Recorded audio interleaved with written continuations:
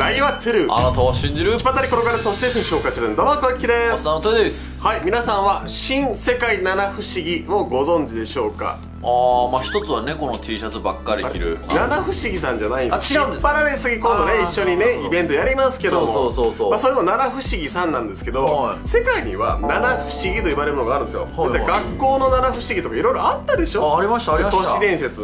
今はね新世界七不思議の時代なんですよ。へえ、はい、しかもですねこれ適当な人が言ってるわけじゃなくて、はい。ちゃんと新世界七不思議財団というスイスに本拠を置く団体があるんですよ。怪しい団体やな。えなんで？なんかスイスってのも怪しいし新世界七不思議財団って何のために作ったんよいや俺らもそんなのやりたくないやりたい。ね、しかもねこれ適当に自分たちが選んだわけじゃなくてなんと1億票にも及ぶ世界中からの投票によって選出されてるんですよね。俺も投票したかったな。ね1億票やからそんなもう選挙とかは比じゃないからね。おその中にどんなものがあるか皆さん気になりますよね。なんですか？こちら万里の長城。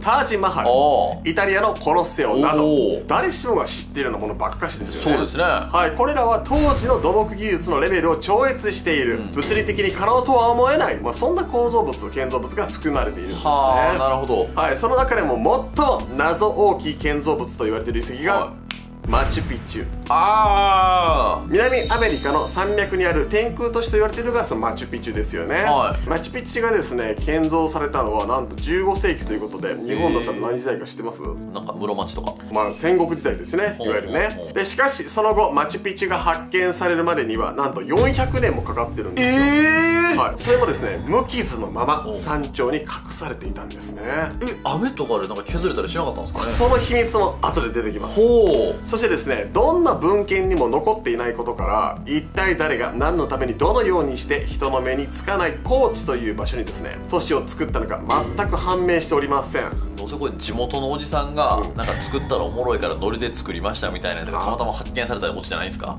違いますよ。そんな一人では作れるほどの技術じゃないんですよこれは。そうなんですか？はい、もしかするとマチュピチュは侵略者から何かを隠すための都市でありその何かを守るために一切記録にも残さないよそういう意味なのかもしれません。なるほどね。再現不可能な超技術マチュピチュは南アメリカのアンデス山脈の山頂で栄えたインカ帝国の遺跡の一つなんです。インカ帝国なんですね、はい。マチュピチュにある建造物は石を組んで作られてるんですけど、石のその壁の上にですね作られた段々畑では穀物がちゃんと育てられ1000人の人々の暮らしを支えるのに十分な湧き水も湧き生活に必要なインフラが全て整えられているということなんです。それ結構だんだん心惹かれてきますね。ななどういうことですか？でだんだん畑からこの豊かな生活を送ってるということでちょっと僕僕の知ってる歌に聞こえたんで今。あそうでしたか。僕の回潰しに行くのやめてもらって マチュピチュが建造された15世紀というのは、まあ、もちろんヘリもなければ蒸気機関も存在してないんですよね。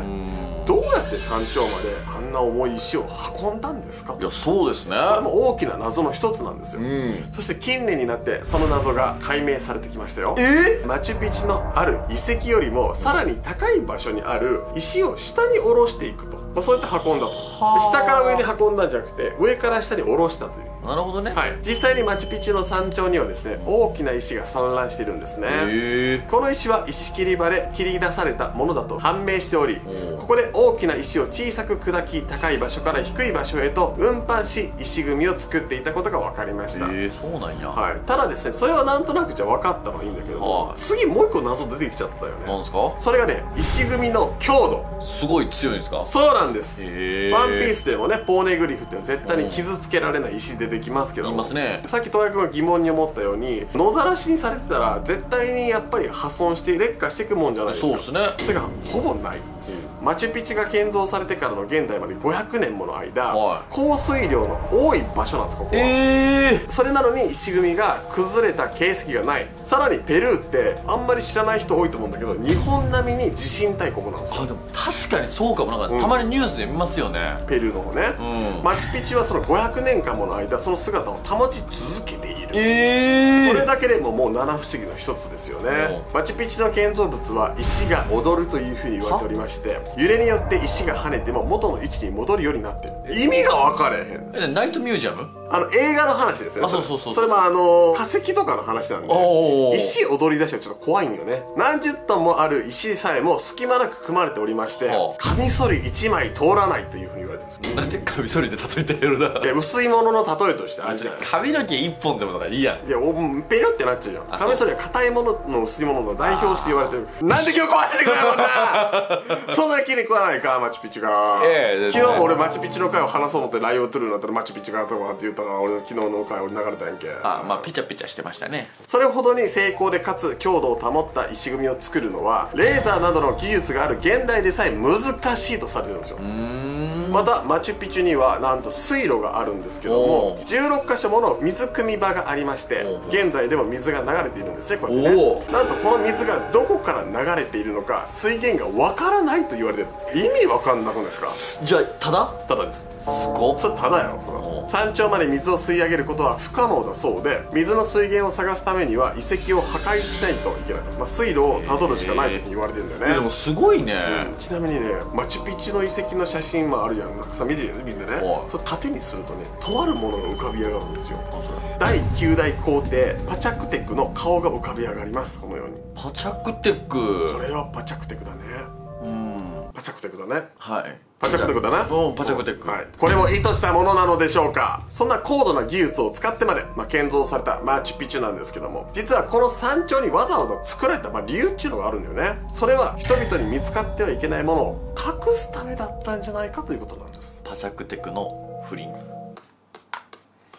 された王国マチュピチュ建造の理由についてはさまざ、まな理由、まあ、説があるんですけどもその中で最も有力されているのがインカ帝国の信仰の対象である太陽を研究する宗教施設という説おーだから太陽に近い天空に作ったよっていう。そうなんですね。より太陽に近い地点を求めてまた太陽を最も観測しやすいところとしてこの高地に建造物を作ったんじゃないかおー。実際にマチュピチュには太陽の神殿がちゃんとあるんですね。はい、この神殿は暦としての機能を果たしているそうなんです。窓から入ってくる太陽光で夏至と冬至を見極め作付けの時期を導き出していたというふうに言われていると。すごいな。すごい技術だよね。天文学もあったんですね。そうです。ここでも精密な建築技術と高度な天文学の知識が凝縮されてるんですよね。は他にも太陽をつなぎ止める石と言われているインティワタナという遺跡もありましてこの遺跡は日時計となってるんあです。はい、突き出している柱の角は正確に東西南北を指しているそうでマチュピチュ最大のパワースポットというふうに言われてます。ねそうなんや。僕たちマチュピチュって言ったらなんとなくさ外観のこの写真しか見ないから見ない。細かい意味とかさ何かあるって分かってないやん。いやほんまに。でこういうことを知っていくとより楽しいいやと思う。これは行きたいですね。パワースポットですから行きましょうこれおねー。そして最も魅力ある造形はコンドルの神殿。あ結構コントロールらしいですね。いや混んでたらねこのご時世ね、うんうん。まあ密だからね。うん。壊しに来てるやん完全にこれね翼を広げたコンドルを彫刻と自然石を組み合わせて表現しているというふうに言われてます。へえ手前の大きな平石がコンドルの頭部とくちばしで、うん。後部の大きな自然石が広げた翼というふうに見られています。そうなんや。はい、インカの世界観では天上界と地上を結ぶ神がコンドルなんだって。ほうほう。でこの神殿は最も神聖で重要な場所とされておりましてある時はミイラが置かれたりとかある時は生贄が捧げられたりとか伝えられています。ほんまに大事なんよね。そうです。マチュピチュは太陽に近づくための神殿であり生活の機能性も兼ね備えた高度な宗教施設であったのかもしれません。ほしかしですね実はもう一つ重要な説がささやかれているんです。う分かってしまったかもしれない何ですか？ワンピースがそこにあんねん。えどういうことですか？マチュピチュはうん。ワンピースを隠すために存在する都市なんよ。えじゃあラフテルイコールマチュピチュなんですか？そう、まあ、つまり、あれはニカを祝う神殿やってことが今分かりましたね。えー、じゃあ結局じゃあワンピースの正体何なんですか？ロジャー笑ってたってやつは。それちょっと遺跡を壊さな分からへんから俺にはまだ分からへん。なんで口出してきたよこの人まあこれ何を隠してたかっていうと、はい。財宝を隠すための施設だったのじゃないかというふうに言われてるんであれ？あのなんで今言ったんだこいつはと思ってほんま。あちょっとだから悪かったですね、うん。すいません。本当にこの人は。あすいませうん。2012年科学調査によりマチュピチュ内で隠し扉が発見されたんですね。ほんまに？はい、そして最新の技術により、はい。扉の奥を調べたところなんとね空洞があることが分かりました。ええはい、もう空洞ワクワクするよねそのエジプトのねピラミッドしかり。ピラミッドのスフィンクスもしかり。そうそうそうそう。空洞があるんだよね、ええ。はい、しかしその後なぜかペルー政府の許可が下りずうわ。そのまま調査はストップしています。出た。なぜストップされたのかは未だに明かされていないというふうに言われていました。では隠し扉の奥には一体何が隠されているのか。は実はインカ帝国が滅ぼされた時金銀財宝が奪われましたけどもその多くは隠され今もどこかで眠っているという、まあ、インカの財宝の伝説があるんですねマチュピチュは400年もの間見つからなかった遺跡です、何かを隠すには最高にうってつけの場所で、まあ、そんな場所に隠し扉が存在するということはもしかしたら扉の奥には奪われた金銀財宝以上の財宝が眠っており絶対に見つからないより隠し扉が後から設置されたのかもしれません。ありえそう。そんな謎多きマチュピチュを作ったインカの民は元は小さなグループだったのですけどそれが15世紀中頃わずか100年ほどで南米大陸の6分の1を支配し人口1000万人の大文明を築き上げたというふうに言われてるんですね。まさにある巨大な王国みたいなねワンピースってもしかしたら繋がってるかもしれませんね本当にね。すごいな。はい、ただですね文字を持たない文明であるがゆえに記録がないと。どこから来た部族なのか分かっていないんですって。インカの民とは一体何者なのでしょうか、実はそのルーツに関わる伝説があるんです、なんとそのルーツに日本が関係しているとか。インカ帝国を作ったのは日本人だった何かとね日本人が発祥じゃないかっていう歴史最近ちょっと小林さんも取り扱ってますけども、まさかインカ帝国を作ったのも日本人と思わなかったでしょほんまにどういうこと？マチュピチュを建設した皇帝パチャクテク覚えてますか、はもちろんもちろん。はい、血は現在も続いておりその子孫の方がなんとね2014年のテレビ東京の取材に応じてるんです。え彼の家ではなんとインカ帝国を作ったのは日本人であると、まあ、そう言い伝えられておりはあ。子供の頃からその話を聞かされていたそうそうなんです。インカ帝国の領土内の人々はケチュア語やアイマラ語など征服した村の言語を話していました。しかしインカの王族の間には一般の民には誰もわからない王族だけの言語があったそうです。すごっ。それがねなんと日本語だった。え？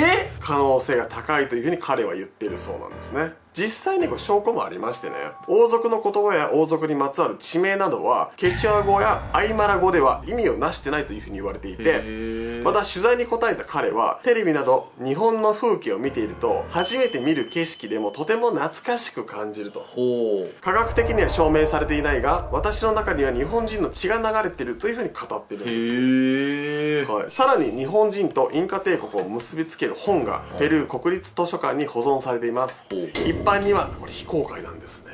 ははい、ちなみにその本のタイトルはですね、マンコ・カパックインカ帝国伝説上の初代皇帝の名前なんですって。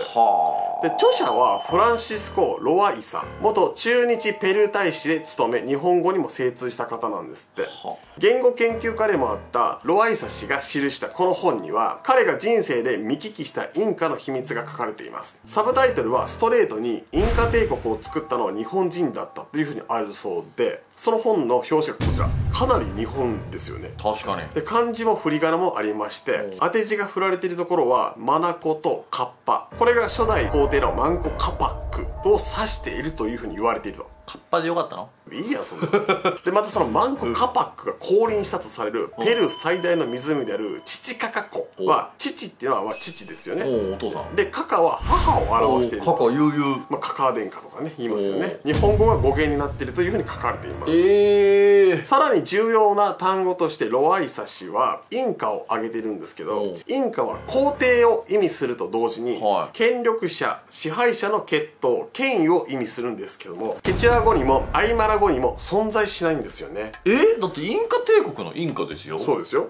そのインカですよ、はい。日本語のインカだというふうに言うんですって。え？でインカってこういう字書くんですけど聞き慣れないですよね。聞き慣れな昔はよく使われてた言葉らしいんですけどうん。許可することっていうのを意味するんですって。人々に許可を与える、まあ、つまり権威者の血筋だけがインカと名乗ることができる。は他にも現在でもそのインカの暮らしを守り続けているマティンガ村っていうのがあるんですけどおその言い伝えられてきた伝説がありまして太平洋の彼方からやってきた神が王国を築いた後いつか私は必ず戻ってくると言い残し再び海へ旅立った。そうやってね、まあ、待ってたわけなんですけど、うん。ついに、まあ、村の人たちもそれはもう待てんなーっていうことを言ったそうですね、うんマティンガー村の村長さんがもう。待てんわーっていう。うんそうなんだ。この伝説はですねインカ帝国を征服したスペイン人により調査され記録に残されています。はい。さらに日本などに多いとされる遺伝子型ハプログループと同じ遺伝子を持つ人が南米の沿岸部にだけ存在するんですって。マチュピチュという高度技術を用いたインカの人たちは日本が先祖だったのかもしれません。はい。まあ、最後にですねマチュピチュと日本人のつながりに関する不思議なエピソードを紹介しますね。ほう。日本人とマチュピチュの絆。マチュピチュの遺跡に赴く際必ず通るのが人口300人ほどのマチュピチュ村という小さな村があるんです。あでもザそんな感じの村があるんですね。はい、現在は遺跡の観光業でちゃんと栄えていまして世界的な知名度も高い村というふうに言われています、うんうん友好都市協定の話が数多く持ち込まれていたというふうに言うんですけどもそんな中で2015年に初めて友好都市協定を結びました。その相手気になりますよね、は日本の福島県大玉村という小さな村なんですね。こ？なぜ大玉村が選ばれたんでしょうか。その理由が野内与吉さんという大玉村に生まれた人物に隠されてるんですね。こちらの方ね1917年野内さんは労働移民としてペルーに渡るんです。はい、奴隷のように扱われた農園を脱走しお野内さんは後にマチュピチュ村となる土地にたどり着きます。そうなんや。そこでインカの子孫は食料を分け与え家族のように迎え入れてくれました、うーん。その時野内さんはまだ山の上にあるマチュピチュ遺跡の存在は知らなかったそうで村の人々にとっても何かそういう感じのものはあるらしいというぼんやりした伝承だったそうなんですね。はあ当時の村は住む人のほとんどいない未開拓の集落で野内さんは木々を切り開き土地を整備し川から水を引き畑を作りほとんどゼロから村を築くというダッシュ村のようなすごいね。もうそういうぐらいの貢献度があるんですよ。そして1935年野内さんは村で初となるホテルホテル野内を作りました。こへえの写真のですね奥にあるものがホテル野内なんです行ってみたい。ちょうどその頃アメリカの探検家によるマチュピチュ遺跡が発見されました。調査を行う多くの学者がホテル野内に宿泊したんですね。へえ野内さんもガイドを務めるなど調査を支えていましたと。後にマチュピチュ村の初代村長に就任し村の復興に多大な貢献をしました。すごいよね。マチュピチュ村の初代村長って日本人なんですよ。すごっ。はい、こうしてマチュピチュは今日では世界遺産にも登録され年間150万人もの観光客が来る一大観光地となったのですュピチュの世界遺産登録には彼の存在なくし得なかったのではないだろうとまあ言われてると。はでそんな野内さんがマチュピチュ村にたどり着いたのは全くの偶然であったというふうに言います。あそうですよね、はい。逃げ出して先でしたもんね。そうです。なぜ引き寄せられたんでしょうか？その理由は本人からもはっきりとは語られていません。おもしかすると野内さんの体に流れる血や遺伝子が無意識にマチュピチュの方に寄せられていったのかもしれません。おまだまだ神秘的な謎が隠されている天空都市マチュピチュ。新たな発見に期待したいと思います。どうやったマチュピチュ。でもめちゃくちゃ良かったですね、はい。ホテルのうち泊まりだよ。あるんかなまだ。いやもう多分めちゃくちゃ儲かったから5点になってるよ。5点？ね最初ちょっと古い感じのホテルやったけど、うん。もう多分もう今ドバイもびっくりの超高級ホテルぐらいになってるかもしれないいや頼むからマチュピチュの遺跡のコードだけ抜かそうとホテルの上から見えますやみたいな部屋からマチュピチュが見れるみたい天な。空都市野内になってるかもしれない。ということで、えー本日の鳥肌スコアは400なんで崩れへんかったんやろな雨とか地震とか。もうね石がすごいよく組まれていたんだよね。ね。だからなんかマチュピチュの全盛期の時代とかに流行ってた曲とかかけたら石。踊り出すんかな。えどんな歌なんですかね。そんなん決まってるよ。インカの目覚め徳川家康、うん。江戸幕府を開き300年近く世の中に安定をもたらした人物というふうに言われております。すごいやん。実は在任前後の10年弱で家康が行ったのは当時の日本では考えられないようなオーバーテクノロジーレベルの江戸の町づくりだったんですね。おお実はこれらの偉業の成し遂げたのは徳川家康ではないか実はある種の呪術を使う人物が町を計算し尽くし江戸の目覚ましい発展に裏で関わっていたのではないかという噂が存在するんです。僧侶天海。実は天海の裏で闇の組織が動いておりその組織の力によってその江戸の町ができたのかもしれないという説が存在するんです